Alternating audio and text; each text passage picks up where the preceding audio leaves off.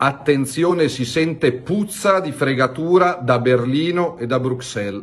Quando sentite parlare di MES, attenzioni, occhi e orecchie aperte perché c'è dietro l'ipoteca del futuro dei nostri figli, il lavoro e il risparmio degli italiani. Veniamo ai fatti concreti. Il 23 marzo il vice segretario del Partito Democratico parla apertamente di MES, dicendo che l'Italia ha bisogno di un piano di investimenti de, dall'Europa, discutiamo da dove prendere questi soldi, se dal MES o con dei bond.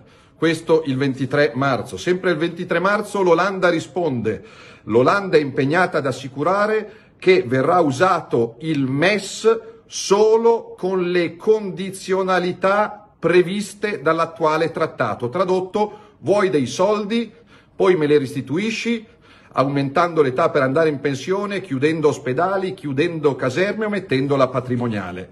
Veniamo a oggi. Il presidente dell'Eurogruppo, Centeno, dice i dettagli degli aiuti del MES, quindi conferma che si sta parlando di questo, verranno resi noti entro il 5 aprile e nel lungo periodo gli Stati dovranno assicurare un percorso sostenibile Tradotto, Italia, se vuoi dei soldi oggi, me li dovrai restituire con interessi e sacrifici domani. Veniamo alla chiusura del cerchio. Berlino, il governo tedesco, questo poche ore fa, ritiene che il MES possa essere uno strumento utile per elargire sostegno veloce agli Stati con le regole in vigore, quindi con i vincoli e i sacrifici oggi previsti. Tradotto, gli italiani hanno messo 14 miliardi in questo fondo per aiutare gli altri, hanno messo altri 44 miliardi in altri fondi europei per aiutare altri stati e altre banche, in totale 58. Adesso, per averne eventualmente indietro 35 sui 58 dati, dobbiamo infilare l'Italia, il nostro paese, i nostri figli in un tunnel di cui non si conosce l'uscita. No al MES. Chiediamo che il Presidente del Consiglio venga in Parlamento, visto che questo è il nostro posto di lavoro, a dire a chiare lettere no al MES.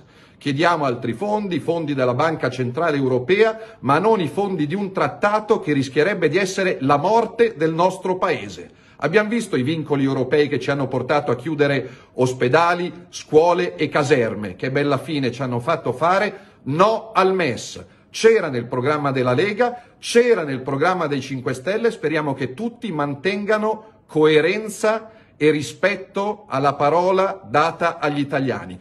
Aiutateci a far girare questo allarme che non è ingiustificato, ma è fondato sulle parole che avete sentito. No al MES. Chi parla di MES abusivamente o di nascosto è un nemico dell'Italia e degli italiani tutti insieme per sconfiggere il virus, sì, ma senza ipotecare il futuro dei nostri figli, la libertà, l'indipendenza e la sovranità del nostro Paese.